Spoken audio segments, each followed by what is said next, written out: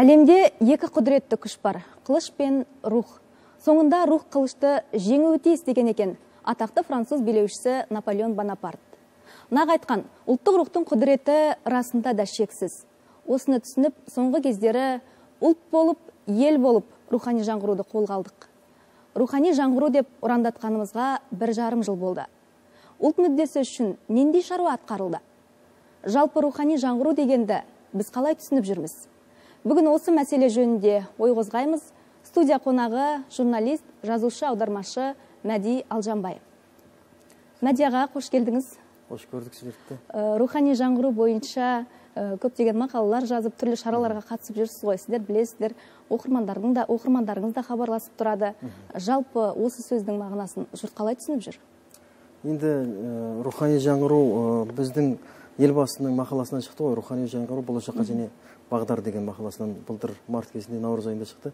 Содан бері бұл, бұл біздің мәдениет руханият әдебиет кино саласы болсын ә, барлығына үшін бір серпін берді болады ә, шыны керек біз тәуелсіздік алғаннан бері нарықтық экономика деп тек табыс табуды ғана ойлаған шақтарымыз болды. Сол кездерде өтті сол кезеңдер болды.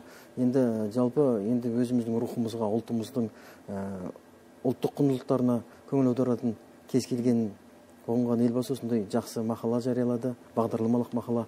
Соның негізінде қазір жер жерлерде өңірдің тарихын өлкенің тарихын ауылдың тарихын аймақтың тарихын жаңғыртатын ә, жаңаша бір мүмкіндіктер пайда болды. Енді жаңғыру деген өзі айтып тұр. Ә, біздің бір кездегі тарихтың өзінде ақтаңдақ болып қалған мәдениеттің өзінде айтылмай кеткен әдебиетте жазылмай кеткен тақырыптарды жаңаша бір жаңғырту жаңаша бір таныстыру келешек ұрпаққа қалдыру мақсатында жасалып отыруға болады дейді. Сондықтан енді рухани аты айтып тұр жаңғыру ол біз үшін ең басты керек бір бағытта ә, бағыт деп есептеуге болады. Жуырда ә, дулат жазушы драматург дулат исабеков ағамыздың бір сұхбатын оқыдым. Ә, ол кісі айтыпты кітаптың тұсаукесері концерт кез келген іс шара болсын осы рухани жаңғырудың аясында өткізетін болып алдық бұл ә, жаңағы науқаншылдық емей немене? Рухани жаңғыруды ә, бұлай жасауға болмайды. Рухани жаңғыруды даурықпаға айналдыруға болмайды депті. Енді ол кісінің айтып отырғанымен келісемін толық келісемін себебі бізде қазақпыз ғой деген бір ұғым бар да. Қазақпыз ғой дейміз де көп нәрсені бір бағдарламаның маңызды сыйғызып жібергіміз келеді. Соның негізінде өзінің жақсылықты айтқан дұрыс әрине. Бірақ ә, рухани жаңғыру бағдарламасымен мектептің ашылуы рухани жаңғырудың бай- байланысымен мәдениет орталығының ашылуы я болмаса ә, әдеби бір кітаптың жазылуы я болмаса халықпен кездесу секілді бір ә, тағылымды өнегелі бір кездесулер болса оған құба құп болады деуге болады. Ал бірақ ә, сауда орталығының ашылуы ә, я болмаса басқа да бір күнделікті тұрмысқа қажетті нәрселердің барлығына рухани жаңғыруды жапсырып соның ай- ара- аясында осындай шаралар өткізіп жататын ә, сәттер жоқ деп айтпаймыз. Бар. Ол қоғам болғаннан кейін табылады. Іздесек ә, кез келген ауданнан кез келген облыстан кез келген өңірден кез келген қаладан табуға болады. Бірақ соның барлығын науқаншылыққа айналдырмағанымыз дұрыс деп дулат ағамыз дұрыс айтып отыр. Себебі ол кісі енді қанша дегенмен қазақ әдебиетінің классигі деп есептелетін жазушы көріп жүр біліп жүр. Ә, оның ішінде де бәлкім ә, қазіргі қоғамдағы асыра белсенділікті ұнатпайтын да мінездер бар шығар. Шындығында бізде асыра сілтеушілік ә, о баста қанымызда бар секілді. Содан арылу керек. Біз мысалға бір бағдарламаның атымен көп нәрсені өткізіп жіберуге дайын тұрамыз мысалға. Күріштің Мысалы? арқасы- күріштің арқасында күрмек су ішіпті деген қазақтың сөзі бар. Шыны керек. Ә, сапасыз негізсіз нәрселерді ә, өткізіп жібергіміз келіп тұратын жасырын емес. Ол біздің ал ол рухани жаңғыруға жата ма? Ол рухани жаңғыруға жатпайды.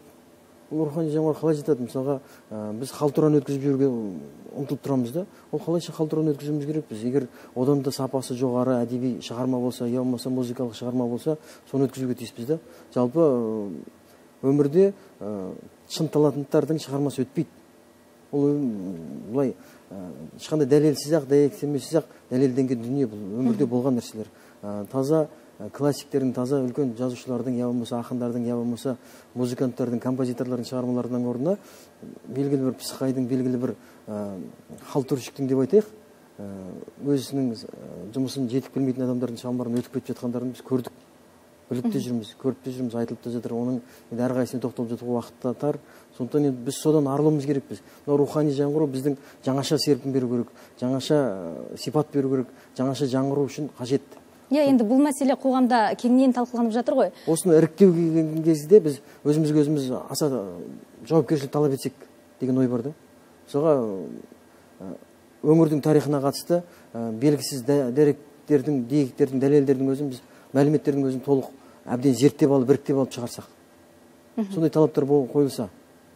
Бұндай талаптар жоқ па сонда? Бар ғой бар. Бірақ оның ішіне жаңағыдай мен айтқандай ой ананы таныс еді мынаны таныс еді ананы бауыр еді деген сияқты нәрселер кіріп кетуі мүмкін да иә жаңа айттық қой бір жарым жыл болды рухани жаңғыру мақаласының жарияланғанына содан бері де бір жылдықты қорытындылап жатыр. Жалпы зиялы қауымдардың зиялы қауым өкілдерінің бірі бұл істі білім саласынан бастау керек дейді. Білі, бірі руханият ауылдан бастау керек дейді. Жалпы сіздің көзқарас жалпы қазіргі бағыт.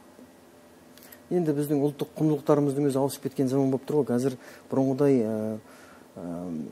әкенің айтқанын орындайтын бала қазір жоқ болып тұр.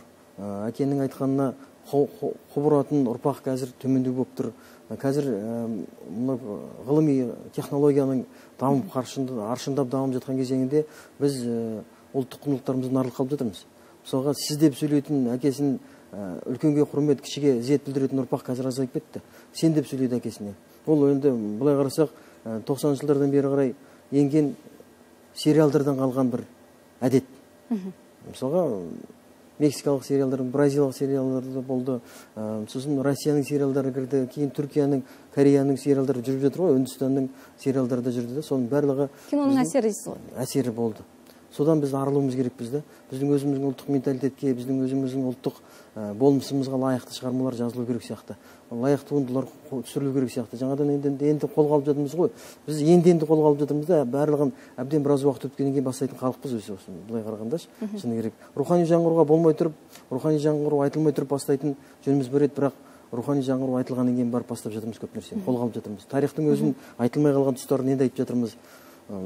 Әдебиетте жазылмай қалған тақырыптарды енді жазылғалы жатырмыз. Киноның өзінде түсірілмей қалған туындыларды жаңаша түсіргелі жатырмыз да. Сондай бір нелеріміз бар? Жалпы нақты сіздің көзқарас мысалы жаңа тарих туралы айтып қалдыңыз иә? Тарихтан бастау керек дегенді енді тарихтан бастауымыз керек те шығар. Жаңағыдай саланы бөлексі себебі тарих біздің жаңғыруымызға себеп болады. Біз мына ұлы дала елінде өмір сүріп жатқан мемлекет ретінде мәңгілік ел деген бастаманы тағы президент көтеріп берген. Соның астарында біз әлемдік өркениетке үлес қосқан ұлт ретінде біз қалғанбыз. Бірақ оны біз айта алмадық осы уақытқа шейін. Кеңестік идеологияның кесірінен кеңестік идеологияның кері тартуынан кеңестік идеологияның бізді тұншықтыруынан келіп біз көп нәрселерді айта алмай қалдық тарихымыздан. Мысалға кешегі өткен бабаларымыздан қалған кодекс куманикус деген шығарма. Қазір венецияда. венецияда жатыр. Оның былай қарасақ біраз ғасырлық тарихы бар. Ол енді сол кезде шығарма ретінде словарь әліппе ретінде аударма сөздік ретінде оқыған екен жаңағы шетелдіктер өздеріне. Мысалға бізге келіп жатқан анау гильом рубрук кім? Атақты саяхатшылар жиһангездер біздің тарихымызға қатысты нәрселердің барлығын жазып алып кеткен әлемдік өркениетке алып барып тарихын беріп отырған адамдардың барлығы сол сөздік арқылы түсініскен бізбен. Осы тарихи жәдігерімізді қалайда алуға бола ма? Ала аламыз ба біз? Оны біз қазір ала алуға болады әрине мемлекет аралық келісімдер арқылы. Соны алып оқып шығып түсінікті не жазылғанын білуіміз керекпіз біз. Просто көріп оқып шыққанымыз жоқ оны. Просто таныстық қана. Барып ұстап көрген кісілер бар білетін кісілер бар. Оны оқыған кісілер де бар шығар мен анығын білмеймін. Бірақ толық оқып әлі оның мағынасын бізге жеткен жоқ. Біз кеңестік идеологиясының кесірі дегенім сол. Біз орыс тілінің призмасымен оқыдық та орыс тілімен ғана аудармасымен оқып келдік біз осы уақытқа шейін. Көптеген шығармалардың нелердің барлығын. Біздің тарихымызға айтылған жаңағы гильом рубрук дегеннің жазбаларын біз орыс тілі арқылы ғана оқып келдік. Таза өз тілінде итальян тілінде бәлкім ағылшын тілінде бәлкім испан тілінде жазылған шығарманы біз өз түпнұсқасын оқуымыз керек еді. Оқи алмай жатырмыз. Енді енді оқысақ соның өзі біз үшін олжа. Әйтпесе мысалы қойлық деген қала тұр. Бізді мысалы көшпенділерді көшпенді халықсыңдар сендердің тарихтарың мәдениеттерің болмаған деген ұғым бізде сіңіп қалған. Әлі күнге шейін тарихта сөйтіп оқытылады. Біздің мектептің оқулықтарында сондай шығар. Бірақ бізде деген мына қойлық деген қала жатыр біздің іргеде сарқандағы. Оның ол жерде монша болған ар жағындағы тұрған лепсі қаласы лепсі өзенінен арасы бір үш шақырым бес шақырым болар. Содан су тартқан кәдімгідей мынандай қыш құбырлармен. Су тартып алып келіп кәдімгідей су жүйесі болған ол жерде. Ұлы жібек жолының жолының бойында жатқан қала. жалпы қанша қала бұл жерде? Төрт қала бар ғой иә? Біздің алматы облысының өзінде ә, біреусі жаңағы қойлық десек болады біреусі мына балпық биде жатқан екі өгіз ә, содан кейін бақанас ауданының ә, балқаш ауданының территориясында жатқан ә, бояулы ақтам қарамерген ағашаяқ деген төрт қала жатыр. Осы төрт қаланы тануда бір. Жаңаша бетбұрыс осыға бір ізденіп жүрген тарихшылар бар ма? Тарихшылар бар. Бірақ толық зерттеп толық оның несі туралы айтылмаған. Тек оның орналасуы жатқан топырағының үйілуіне байланысты қаланың іргетасы неден қаланғандығына байланысты ғана деректер бар. Зерттеген біздің археологтар барып ашып көріп қараған карл байпақовтар. Бірақ оның негізгі маңызын оның негізгі идеологиялық маңызын сол кезде қаланың оның атқарған қызметін оның тарихы туралы деректер аз шыны керек. Оны жазылмай қалған қалған. Оны жаңаша біз жаңаша бір жаңғыртып қайтадан бір қарап шығып сол қалғандардың орнын. Бәлкім жаңаша жазу керек шығар. Жөн айтасыз мәди мырза. Расымен де тарихтың талай аласапыраны басынан өткен халықпыз ғой. Шыны керек жаңа өз сөзіңізде де айтып қалдыңыз.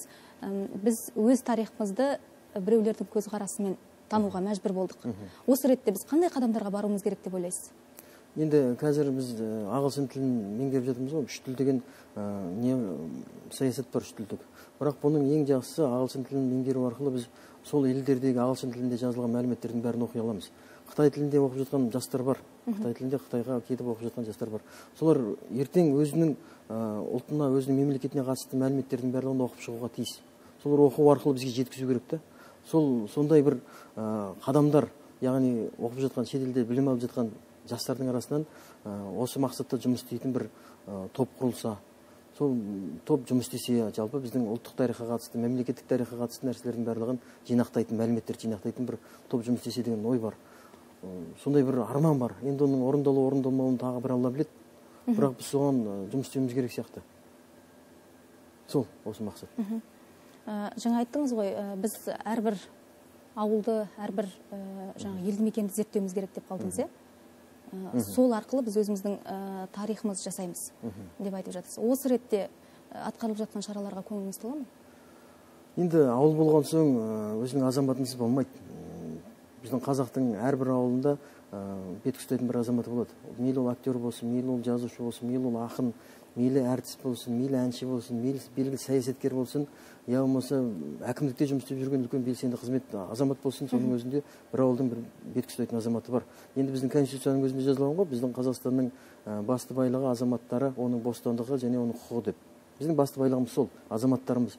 Азаматтарымыз бар болғандықтан әрбір ауылдың тарихын айту қазір өз деңгейінде жүріп жатыр. Мысалға сол азаматтардың тарихын біледі. Бір ғана енді оны аса реклама болып кетпес Жарнама. жұлдыздар отбасы деген бір көпшілік сүйіп оқитын қарапайым оқырман сүйіп оқитын бір журнал бар. Түрлі түсті журнал бар. Жарылқасын нұсқабаев жарылқасын авторы. Жақсы сол сол соның өзінде көп азаматтар туралы жазылады. Біздің жетісу газетінің өзінде де әрбір ауылдың Тарихи тұлғалар. тарихи тұлғалар Алаш азаматтары алаш азаматтары сол ауылдың өркендеуіне іргетасы қаланғаннан бастап осы күнге жеткенге шейін еңбек сіңірген азаматтар туралы мақалалар келіп тұрады жазамыз. Еңбек сіңіріп жатқан азаматтар туралы шығып жатыр. Соның барлығы біздің рухани жаңғыруымызға септігін тигізетіні анық. Себебі өскелең ұрпақ соларды білу арқылы соларды тану арқылы өзіне бір мақсат қояды алдына. Соларға ұқсағысы келеді. Сол арқылы өзінің туған жеріне еңбек сіңіргісі келеді. Бұл енді былай қарасаңыз ә, сепная реакция дейді ғой бір біріне байланысты нәрсе. Тұлғаларды насихаттау керек дейсіз ғой? Насихаттауы тиіс. Рухани жаңғырудың аясында Иә, тұлғаларды насихаттауға Иә. Ы, өз азаматтарымызды тануға жұмыс істеуіміз керек жұмыс дейсіз ғой? істеуіміз керек. Ә, енді ол жаңағы елбасының айтылуымен жаңағы қазақстанның жүз жаңа есімі кіріп жатыр ғой. Жүз жаңа есімі деген болып жатыр. Әрине құптауға тұратын нәрсе бірақ соның өзінде де іріктеп алынса дейміз да мысалға алматы облысының өзінде қаншама азаматтар бар. Солардың салмағы арнайы комиссия жұмыс істейтін шығар арнайы комиссия жұмыс істейді ғой олардың бәрі іріктейді. Бірақ соның өзінде де бәрібір ә, таза бір еңбек сіңірген азаматтар кірсе деген өтініш десек бола ма екен ұлт үшін ы, ел мүддесі үшін. иә сіңіріп жүрген азаматтар бар. Қарапайым таксист алуға болады. Мысалға ауыл мен ауылдың арасында тегін адам тасымалдап жүрген азаматтар болуы мүмкін. Біз білмейміз оны. Біз білмейміз сол жергілікті тұрғындар біледі. Сол жергілікті тұрғындардан сұрау керек оларды комиссия жақсылап жұмыс істеу керек дейсіз ғой. Жақсы жалпы ә, рухани жаңғыру тарихи рухани жаңғыру дегеніміз тарихи санамыз тарихи жаңғырғанда ғана. Сонымен ұштасқанда ғана рухани жаңғырамыз деп тұрсыз ғой? Ә, жалпы осы рухани жаңғыру аясында басында айтып қалдыңыз кеңестік идеологиядан шыға алмай жатырмыз.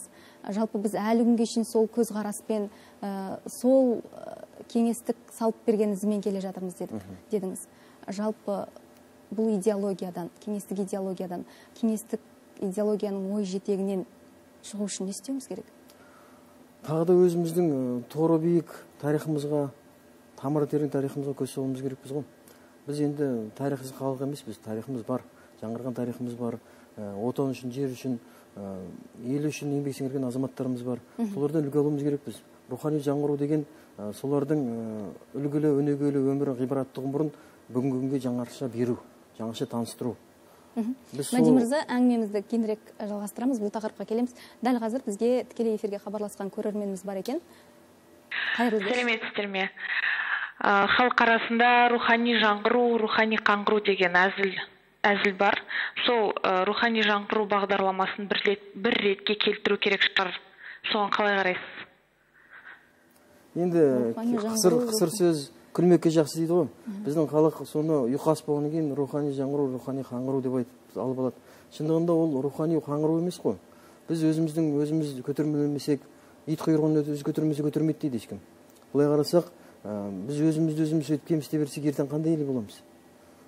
Рухани жаңғыруды рухани қаңғыру деп алып алып жүргендер бар айтып жүргендер бар кесір сөз деп жүргендер бар. Оны жасыра алмаймыз. Қоғам болғаннан кейін әлеуметтік желі болғаннан кейін әлеуметтік желіде ешқандай редакциясыз бәдік қызу сөздер жүреді қызу талқыланып жатыр ғой енді бұл мәселе шынымен де расымен де рухани қаңғыру ма? Ол біздің рухани жаңғыруымыз ғой. Оны біз қалайша қаңғыру деп айтамыз? Біз осыдан басталып тұрдың ба? Өзіміздің құндылықтарымызды қаншалықты құрметтейтіндігіміз осыдан ақ білініп тұрады адамның. Пейілі ниеті пиғылы. Сондықтан біз оны қаңғыру деп атасақ та жаңғырық деп атасақ та біз өзіміз үшін. Егер ол қаңғыру болатын болса адамға қаңғыру болып қала береді. Соны айтқан адам өзі сол бойымен қаңғырып жүре береді. Ал біз оның жаңғыру екендігін айтуымыз керекпіз ғой. Жақсы бастама екендігін дұрыс бағытта насихаттауымыз керек дұрыс бағытта дұрыс мақсатта қолдануымыз керекпіз. Ал оны теріс айтсаң конечно теріс нәрсе болады. Баяғыда біздің халқымыздың ұлттық құндылықтары дегенге келеді. Ә, қаз- қазанның аузы ашық қазанның аузы ашық деп айтады қазақ. Ә, бәлең атын атама дейді ит құс деп айтады мысалы қасқырдың жақсы жармырыс дейсіз жақсы ғой. жарымырыс дейді. Мәди жаман айтпауға үйрететін. Баяғы аталарымыз болып жатыр не дейміз? әңгімемізді осы жерден тоқтата тұрайық. Тағы бір көрермен хабарласты. Бізге тыңдап тұрмыз. Кеш жарық. Алло. Тыңдап Алло. сіз тікелей эфирдесіз. Алло саламатсыздар ма? Мен қаскелең қаласынан сыр қазақ едім. Сексен үшінші жылы алматы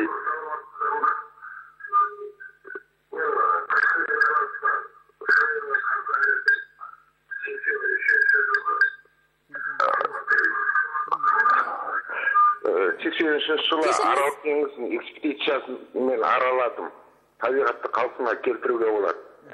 сексен бесінші жылы москва археологымен шыңғыс ханның қазасын іздеп тауып беруге болады. жиырма бес жыл болды жазып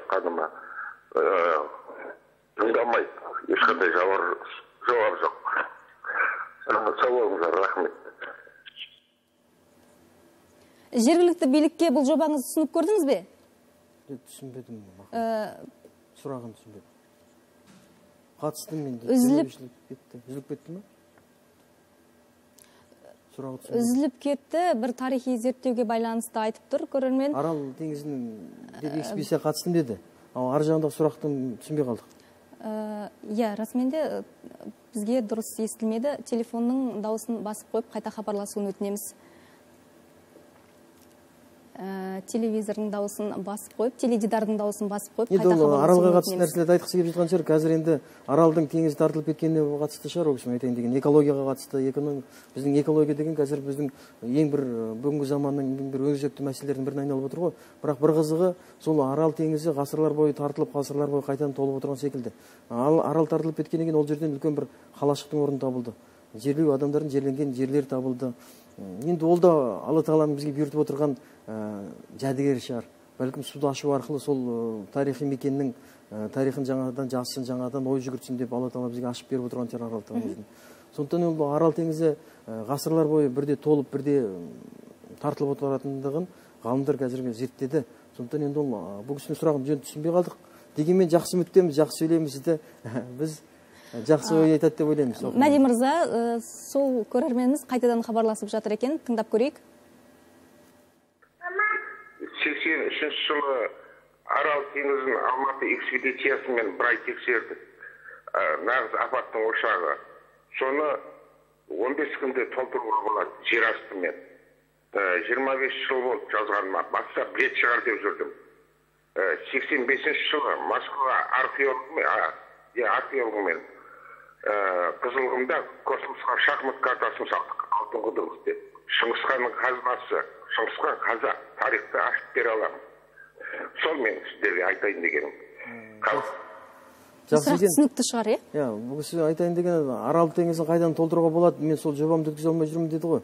Енді оны толық дәлелдену керек шығар. Толық нақты бір дәлелдер керек шығар. Енді оны болашақтың келешектің еншісінде деп ойлайық? Сізден жақсы жобаңыз болса іске ассын деп тілейміз. Иә жиырма бес жылдан бері қарай зерттеп жүр екен. Құзырлы органдар құзырлы мекемелер назар аударады деген үміттеміз. Жақсы сұхбатымызды ары қарай жалғастырсақ мәди мырза ұлттық идеология сол ұлттық идеологиядан жаңағы кеңестік идеологиядан шыға алдық па ой жетегінен арыла алдық па деген мәселені көтеріп жатқан болатынбыз. Енді кеңестік идеологиядан біз арылатын кезең келді ғой.